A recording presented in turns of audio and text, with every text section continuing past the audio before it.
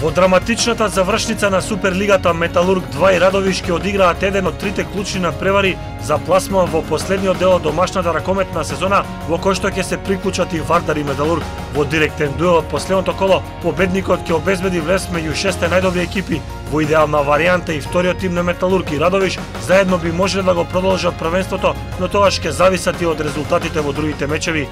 Металург 2 Радовиш, директно на МРТ Совринскиот сервис сабота во 16 часот.